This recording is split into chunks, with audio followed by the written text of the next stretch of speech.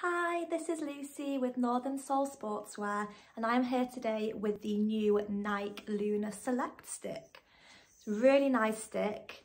Favourite thing about it is probably the handle. Um, so this is the handle that it comes with in white. The stick also comes in black, but it's just got a really nice um, colour scheme really, which you don't always see with sticks. Sometimes they're a little bit plain um, and almost a little bit boring really, but this one's actually got a really nice aesthetic on it. Um, so it's just really stylish. Composite handle, um, really nice feel. It's quite a light handle, which is nice. It's also not too thick. Um, so I actually really like this handle. It feels really good.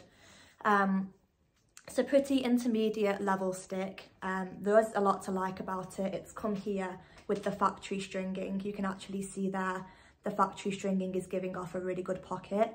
Um, factory stringing in general has just got better um, over the past couple of years.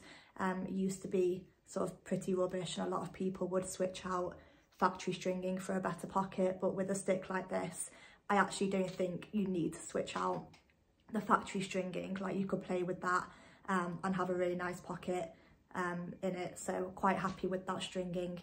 Um, it comes in white and black, as I said. The black, I believe, is just pl uh, completely plain. Um, but it's a nice shape. Um, it's a nice light stick.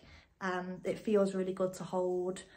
It's not got an overly aggressive offset. So for that sort of high level, really elite player, it's not going to give you too much whip really um, when you're throwing the ball or shooting the ball.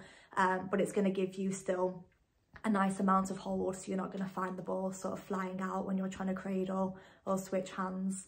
Um, so again, yeah, really nice pocket. The pocket's really in line with the offset of the head there. So it is giving you a nice sweet spot. Um, the scoop is pretty good.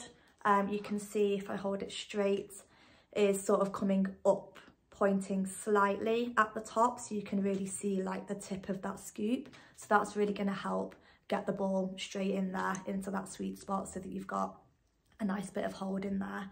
So yeah, really like this one. It's a really sleek looking stick. Um, you're not going to pay sort of top end for it. So it's a good intermediate stick, as I said. Um, and it's really nice. It's a solid stick. And I think that a lot of people enjoy using this.